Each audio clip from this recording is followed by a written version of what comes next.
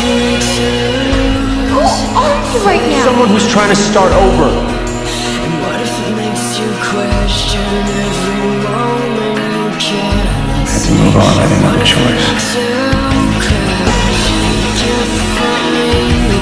All I wanted to do was just get back in your car and go.